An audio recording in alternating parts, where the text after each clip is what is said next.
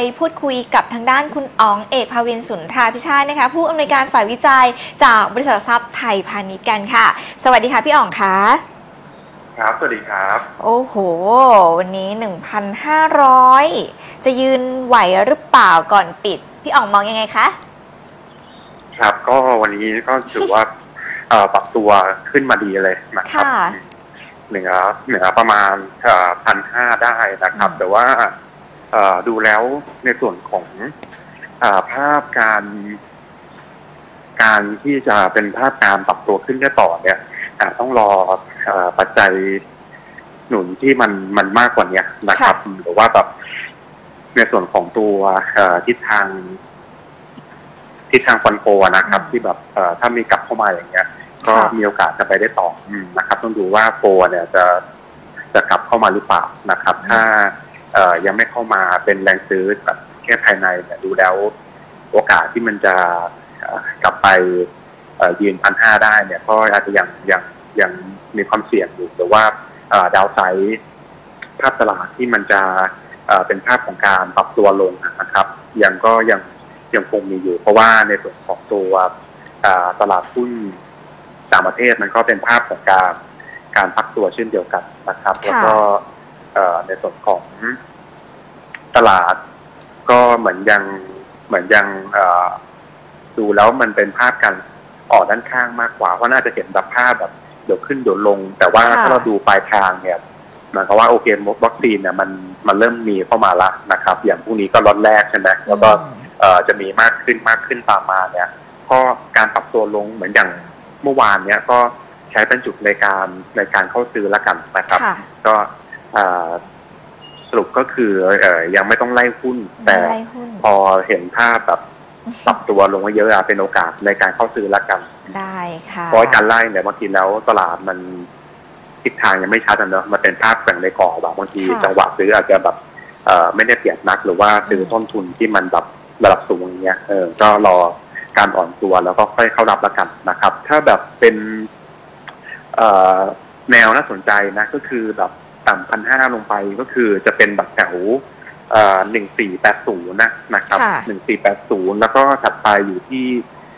หนึ่งสี่หกศูนย์อะไรเงี้ยอืมนะครับ เป็นจุดในการในการเอ่อเข้าได้ค่ะนะครับอืมครับผมก็อย่างเหมือนเดิมนะ เป็นลักษณะของแบบภาพการเซฟทีบายนะครับ ในหุ้นที่แบบเอ่อมีประเด็นเฉพาะนะครับ หรือว่าเอ่อมีจังหวะทางเทคนิคอย่างเงี้ยนะครับ ก็เป็นจุดในการ ในการเข้าซีนะครับอืมโอเค อันนี้ก็คือตัวเอ่อภาพตลาดนะครับ ส่วนตัวหุ้นนะครับหุ้นก็ตัว ETG นะอืมนะครับ ก็เอ่อถ้ายังไม่ต่ำกว่าห้าจุดเอ่อ9.5นะครับค่ะก็ยังถือได้เพื่อไปอ่าขายที่บริเวณ 10.90 บาทนะครับอืมก็เอ่อยังเป็นชุดการแปรดักที่ยังยังเกิดขึ้นได้อยู่นะอืมนะครับเพียงแต่ว่า อาจจะมีการแบบพักตัวสั้นๆก่อนอืมก็เป็นโอกาสในในการเข้าแล้วกันนะครับค่ะแต่ว่าดูกรอบล่างถ้าต่ำกว่าเนี่ย อาจจะมันอาจจะแบบพักตัวมากกว่าคาดละอืมก็อาจจะออกมาก่อนเพื่อเออจำกัดความเสี่ยงในในด้านดาวเสาร์นะครับที่มันจะเป็นโอกาสที่จะพักตัวต่อต้องดูออกตัวตัวจุดคัดไว้นะครับอืมอันนี้ก็คือตัวของของ EPG นะครับ EPG ที่อัปเดตให้ในตอนเช้าส่วนเอ่อกลุ่มที่แบบ ซื้อถือได้ก็ยังเอ่อเน้นไปที่พวกแบบเรียวเพนนะครับอืมอย่างโรงแรมอย่างเงี้ย ก็โรงแรเอ่อมได้ AOT อย่างเงี้ยอืมก็ได้เช่นเดียวกันนะครับค่ะรออ่อนตัวก็เป็นจุดในในการเข้าซื้อนะครับ เพราะเอ่อวัคซีนมันมาแล้วเนาะก็หลายๆประเทศก็เริ่มฉีดกันแล้วเพราะฉะนั้นไอ้ตัวเอ่อการเดินทางระหว่างประเทศเนี่ย มันก็น่าจะเกิดเกิดขึ้นในไม่ช้าหรือว่าของเราก็เอ่อหวังเรื่องของนักท่องเที่ยวที่จะเริ่มกลับมาในช่วงแบบ สักประมันปลายปีอะนะอืมค่ะนะครับพี่อ๋อก็จะดีต่อตัวเอ่อธุรกิจโรงแรมนะครับอืมหรือว่า AOT เนี่ยก็จะเห็นว่าวันนี้มันก็ปรับตัวขึ้นได้ดีรับข่าวนี้เช่นเดียวกันนะครับค่ะก็อาศัยการอ่อนตัวชะลอตัวเป็นโอกาสในการซื้อนะครับอืมอันนี้ก็คือ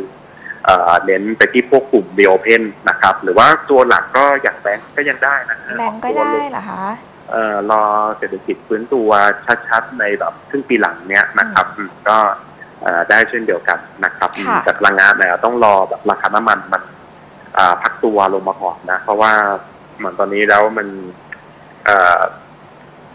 อัพไซด์มันดูแบบ อาจจะอาจจะแบบมีความเสี่ยงต้องพักตัวออกมาก่อนอืมนะครับ อาจจะรอภาพตรงนั้นก่อนละกัน แล้วค่อยเอ่อเน้นไปที่ควบคุมตัวพลังงานนะครับอืม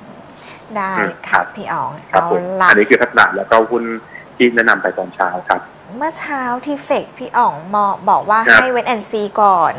อืมครับ ก็ยังเป็นเรื่องซีก่อนนะครับอืมเพราะว่า เอ่อมันลองก็คงยังไม่ทันแล้วเสี่ยงไปนะตลาดค่ะ มันยิ่งแบบ เดี๋ยวขึ้นเดี๋ยวลงอย่างเงี้ย อืมนะครับ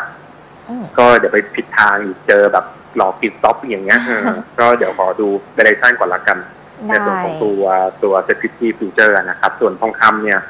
ก็เป็นภาพของการ การเอ่อย่อรองนะครับ ก็คือต่ำพันแปดไปอะเป็นจุดในการเปิดรองสำหรับค่ะ OS สองหนึ่งนะอืมเปิดประมาณหนึ่งเจ็ดเก้าแปดหนึ่งเจ็ดเก้าห้าเนี่ยได้ครับค่ะแล้วก็ต่ำกว่าหนึ่งเจ็ดเจ็ดแปดนะครับ ใช้เป็นจุดในในการคัดลอสนะเออนะครับเป็นค่ะจุดในการคัดลอสครับ ผมโอเคโอเคเอ่อเดี๋ยวนะหนึ่งเจ็ดเดี๋ยวนะถ้าเปิดหนึ่งเจ็ดเก้าแปดเก้าห้าใช่ไหมอ๋อประมาณอ่า การดาวไซส์สิบสองจุดอะสิบสองเหรียญนะนะ อย่าให้ขาดทุนเกินนะครับ ค่ะอืมครับ ได้เลย อะ พี่อ๋องขออัปเดตสักหนึ่งตัวละกันเนาะ ตอนนี้ใน most active เลยอันดับหนึ่ง OR ใครมีอยู่ทำยังไงดีคะ หรือว่ายังไม่มีรับครับได้ไหม เอ่อ ก็ OR OR เป็นเท่าไหร่ละครับ ตอนนี้ราคาสามสิบเอ็ดจุดสองห้าค่ะ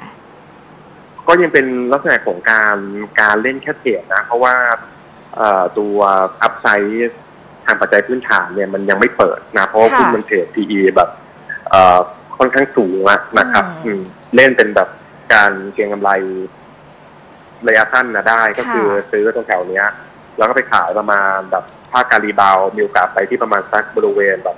เอ่อสามสี่อย่างเงี้ยมีโอกาสถึงครับอืมถึงนั้นก็ต้องก็ต้องขายละเออครับแล้วเอ่อส่วนใครที่เป็นซื้อถืออะกับอืมอย่าลงทุนอะต้องต้องรอพักตัวลงมากกว่านี้ก่อนนะครับค่ะซึ่งเอ่อ ต้องรอระดับน่าสนใจอะประมาณแบบสักยี่สามบาทอะหรือยี่ห้าบาทลงไปอะเออครับ ค่อยค่อยมาดูตอนนี้มันยังโอเวอร์แวลูอยู่แต่ OR เน้นเป็นแค่แบบเทรดระยะสั้นก่อนแล้วก็ไปรอขายที่เอ่อแถวๆประมาณสามสี่บาทครับ ได้เลยค่ะ พี่อ๋อง ครบถ้วนเลย วันนี้ขอบคุณพี่อ๋องมากๆนะคะ ครับ สวัสดีครับ สวัสดีค่ะ ขอบคุณคำแนะนำจากทางด้านคุณอ๋องเอกภาวินสุนทราพิชาตินะคะผู้อำนวยการฝ่ายวิจัยจากบริษัทหลักทรัพย์ไทยพาณิชย์นั่นเองนะคะก็มา